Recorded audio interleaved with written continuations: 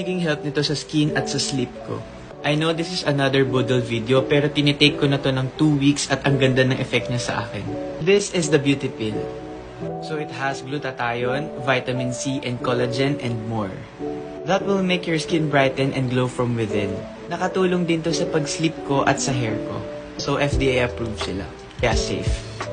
Kaya go na, may oras pa kayo para maging fresh bago mag face-to-face classes.